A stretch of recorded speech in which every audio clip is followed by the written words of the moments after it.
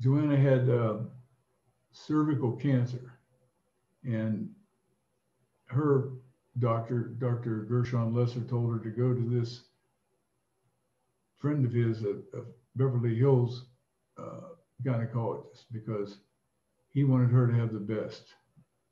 He calls the guy, and gets an appointment because you just don't walk in the front door of a Beverly Hills gynecologist and get an appointment. So Joanna's in there. I know what it is, what they're going to do. It's it's not dangerous. They're going to knock her the fuck out and grind off the end of her cervix. Right across the street, is a Lamborghini sales room. So I walked across the street and I'm in the Lamborghini sales room, and I've never seen anything so goddamn beautiful in my life. Gunmetal gray roadster, about that high. And it was just symmetrical every possible way. It was beautiful. And if it had been a girl, I would have fucked it right there on the right on the showroom floor. It was just so goddamn sexy looking. Ah, I'll never forget that. What a world these rich fuckers live in. What a car. Oh my God. I'm sitting in the car minding my own business. And I'm watching girls come out of coming out of this building. And all the girls have a bandage on their nose like they've been in a fist fight. They're not coming out all at once. There's come out one, and 20 minutes later, another one comes out, another one comes out. I go up to the to the gynecologist to see how Joanna's doing. And you know people are when they come out from under anesthesia.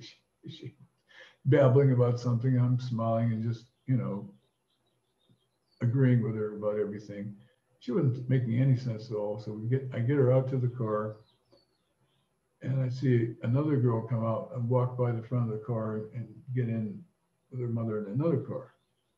And Joanna says, Oh, that must be where the plastic surgery nose doctor is. It never occurred to me. I'm in Beverly Hills, and all these teenage Jewish girls are getting their nose fixed at the Beverly Hills uh, plastic surgeons, which are right now. I was going to tell you what David Steinberg, famous comedian, a joke about it. I just love the joke. So here we go. David Steinberg talking about noses. David Steinberg has a big nose too. With a name like Steinberg, of course he does. What can I tell you?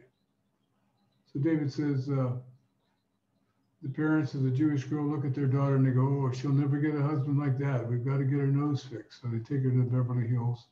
They get her nose fixed. And she's got this cute little Doris Day cheerleader nose that she goes off to UCLA. And wouldn't you know, same time somewhere else in America, the Jewish parents look at their Jewish son and they go, oh, he'll never get away from the nose like that. Let's get his nose fixed. So the guy's nose fixed. And he goes off to UCLA and they meet and they get married. They both think each other's beautiful. And then they have a baby. And the baby has a nose like a macaw. That's God's way of saying, booga booga. That's David Steinberg. I just love that fucking joke.